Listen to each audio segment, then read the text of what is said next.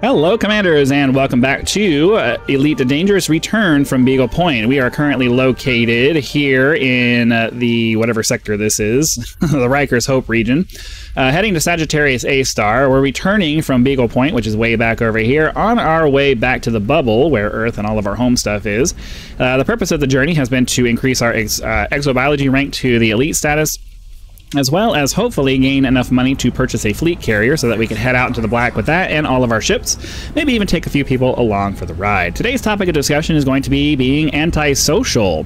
Um, yeah, I'm super, super, super antisocial. uh, and there's just some people in the world who really struggle with social interaction. Um, for someone like me, who is probably the very definition of an introvert, uh, whenever you're in a situation, whenever you're in a social situation, whenever you have to interact with people, especially people that you're not super super comfortable with, uh, it's like drain. It, it, drains your batteries. Like we all have a social battery, and different people have different ways of charging that battery. For me, being around, being away from, uh, being around people like is a drain on me, and I try to avoid it as much as I possibly can. Now, obviously, no person is an island. Nobody can be by themselves all the time. And, you know, um, I like to have certain select people in my life, uh, namely my wife and, you know, my family and things like that. Uh, I've never been one who has been the kind of person who has lots of friends. And for you know a significant portion of my life, if you don't count my wife, um, I haven't had any friends. Um, and it's kind of weird because I've seen I've seen uh, people online who make videos you know kind of feeling sorry for themselves because they don't have any friends. And uh, on the one hand I can understand that but I don't know. Maybe I'm just maybe I'm just kind of weird or psychopathic or something and I, I actually I'm actually kind of happy that I don't have lots of friends. And you know the biggest reason for that is is that you know having friends means that you're going to have obligations. They're going to expect things from you. They're going to expect you to answer when they send you a text message or if they send you a phone call or you know, whatever it is that they end up trying to have some kind of an interaction with you, there's an expectation that you're going to respond.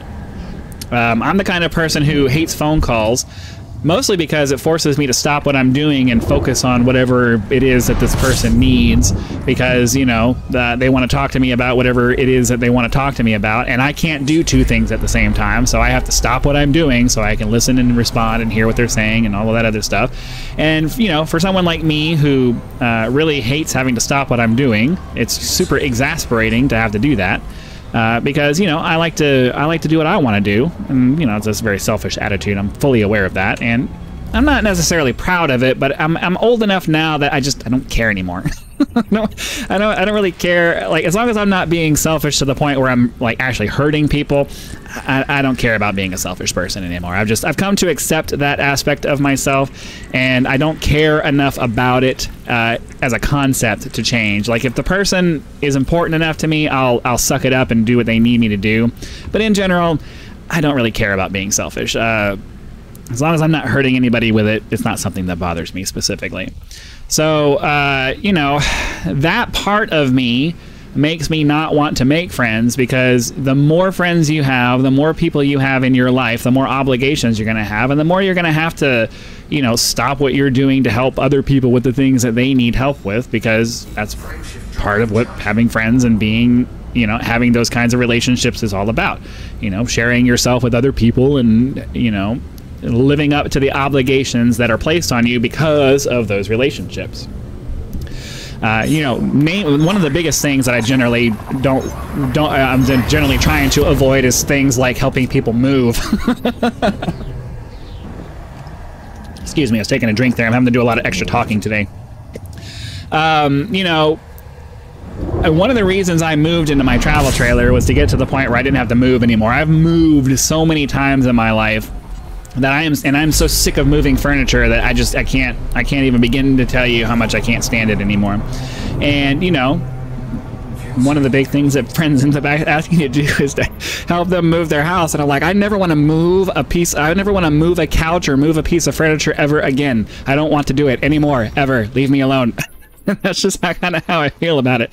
And uh, you know, so um, you know, uh, obligations in general, but like, oh Oh, we left that other one in the last episode. There was a there was a oh, but it was too far away. This one's only 872, and it's only one biological source, and we're not we're not late enough into the episode for uh, it to make sense for us to spend the time on that because uh, we're not really looking for a place to land. So I'm really trying to get to uh, really trying to find at least two biological sources if we can get that. Um, so you know, friends equal obligations, and that's just kind of how I've always felt about it. And I've been mostly content to, uh, you know, avoid friendships for that reason.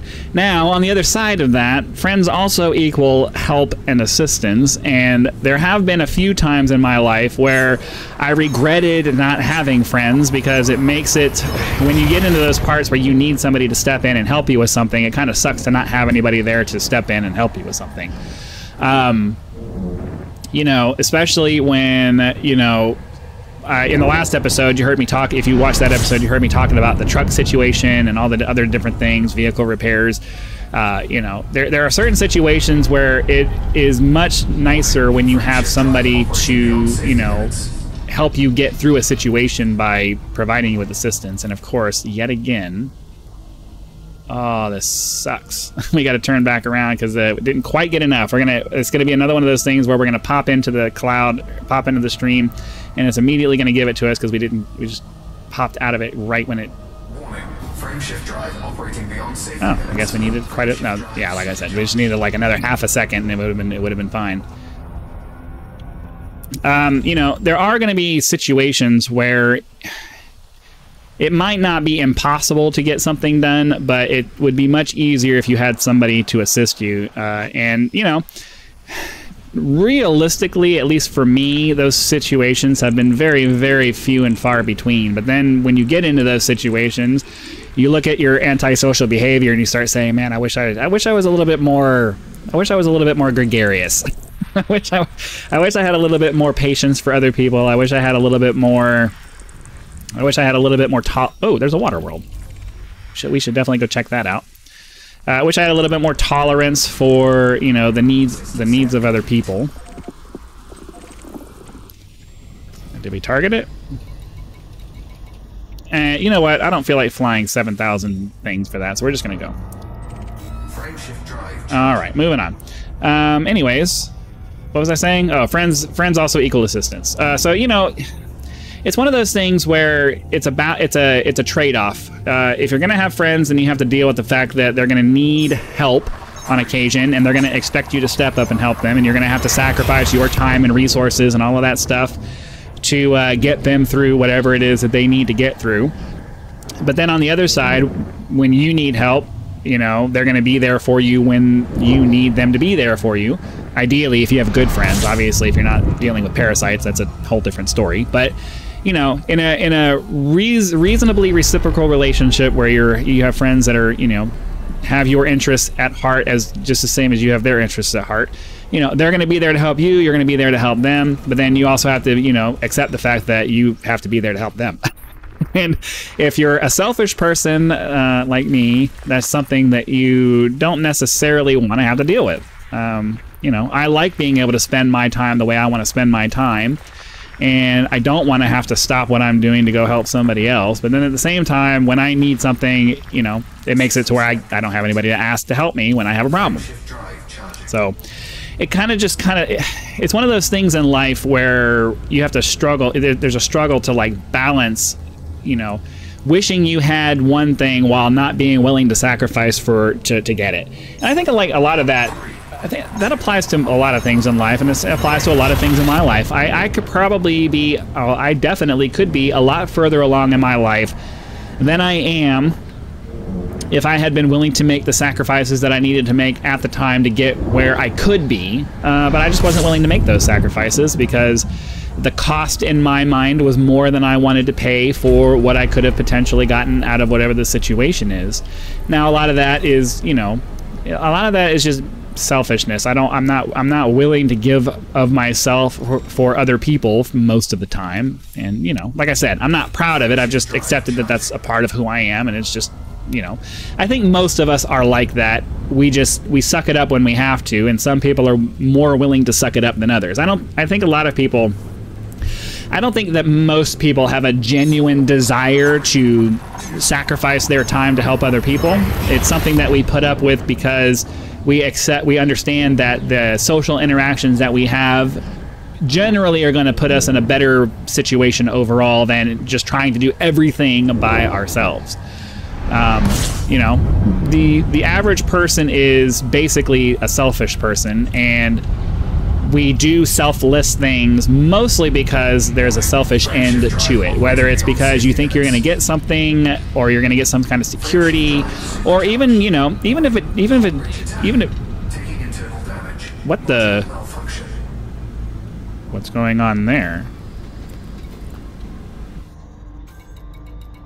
Okay, let's uh, let's get these turned on, and we'll repair it.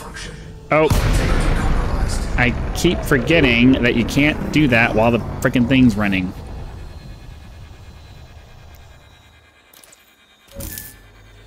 All right. I didn't think we'd gone through so many neutron stars.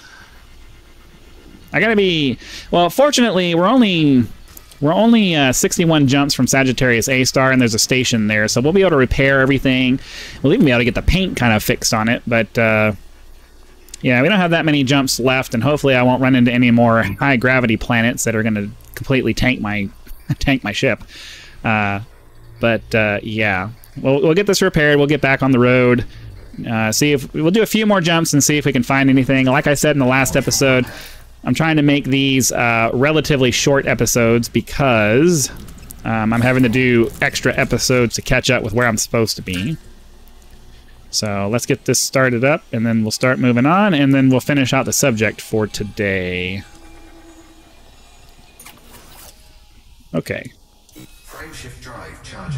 Cool. Um, so, yeah, like I said, I think I think most people it's rare to find somebody who is truly selfless. and I mean selfless in a way where they seriously have zero consideration for themselves. Even people who do, even most people who do charity, the vast majority of people who do charity because they want to do charity, they do that because it makes them feel good. They get something out of it, even if it isn't something that's physical or, you know, something that benefits them in a material way. Uh, they get some kind of emotional something out of it. And so, you know, it's it's kind of hard to not find a situation where there's some kind of selfless, or to find to actually find a truly selfless situation. Um, let's see. Red dwarf star. Okay, that should be that should be something we could fuel off of. We're really low on fuel at this point. Excuse me. So yeah, like I said, uh, I being antisocial is one of those things that just is going to make your life harder.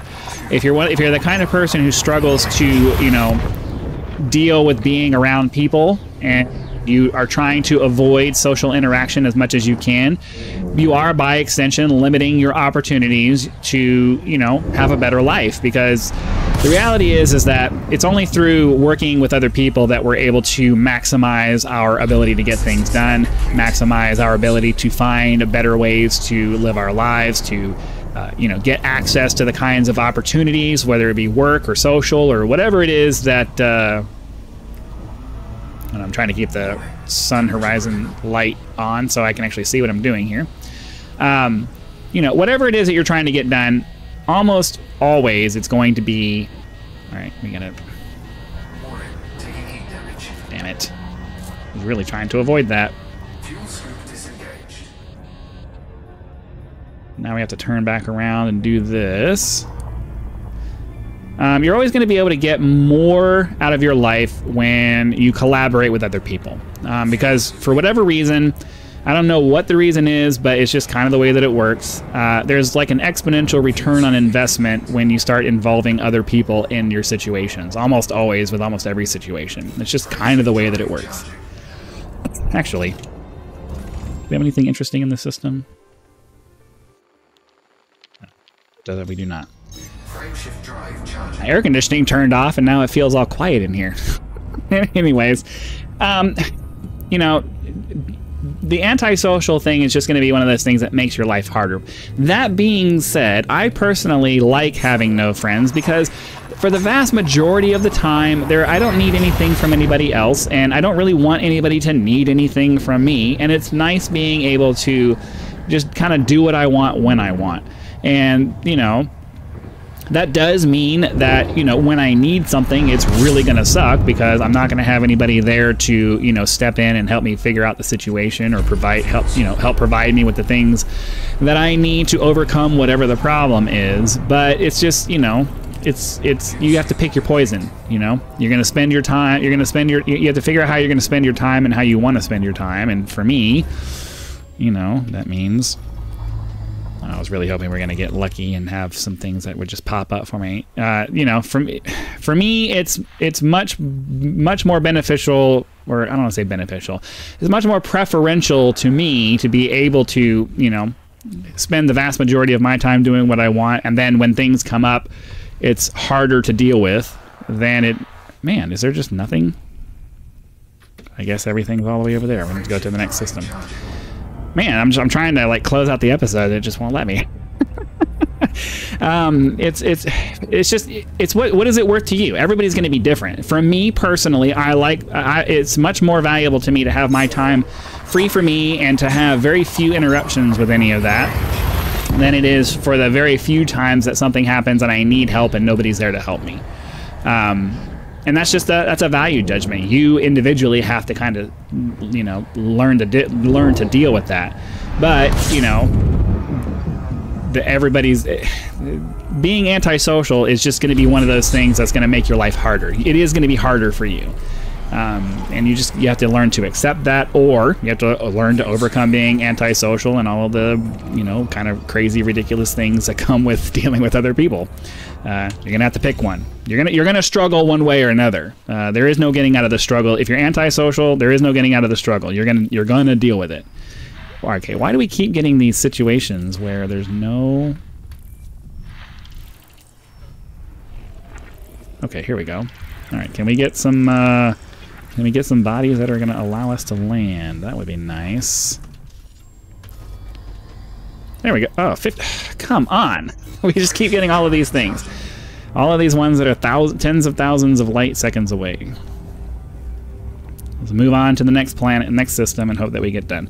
That's more or less what I had to say for the topic of discussion for today. I, I could try to drone on for another few minutes, but realistically, um, you know, I'm just trying to find a place to land. And honestly, I think I might just do that off camera because my throat hurts and I don't want to keep talking. So we're going to go ahead and call that an episode. Hopefully you guys had lots of fun. Be sure to click the like button if you did so that the YouTube algorithm will know and send the video out to as many people as possible. If you're not a subscriber, please consider subscribing now so that when the next video comes out, it'll show up in your feed and you'll be able to watch it as soon as it becomes available. Channel members get early access to all of my content, so be sure to click the join button, check out the list of options available there, and decide if any of those are right for you. If you're not interested in a channel membership but would like to support the channel, you can always leave YouTube's version of a tip with that thanks button. Direct contributions are greatly appreciated and a critical component to helping to turn this channel into a full-time gig, which is the dream. So again, thank you very much for your time. Hope you enjoyed the flight. Be sure to come back for the next one, and I'll see you then.